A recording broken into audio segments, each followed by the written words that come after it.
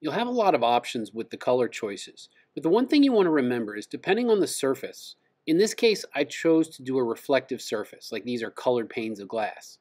So I'm using the different overlapping layers and I'm trying to create that sense of reflection. In the other buildings, I'm just thinking of colors that would normally be a part of a cityscape. So I'm considering natural stone colors, um, you know, cement colors, and trying to keep the window colors different in each one so they don't all look like the same building. Depending on where the light source is going to be, you're going to have different areas of reflection, different areas of light and dark, some cast shadows. So just really take a look at actual uh, buildings to see where you can find inspiration in how to create reflections and different colors within the windows.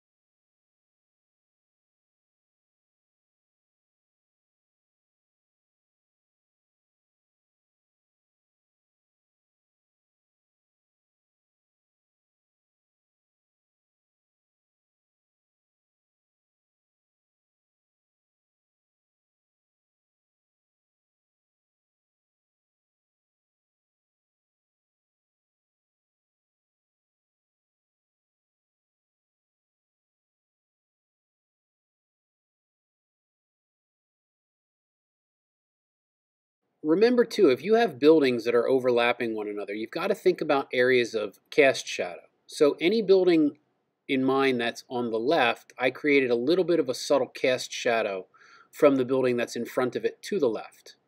And then I went back in and I'm adding areas of reflective light, some highlight, and then just building my color scheme throughout the rest of the design.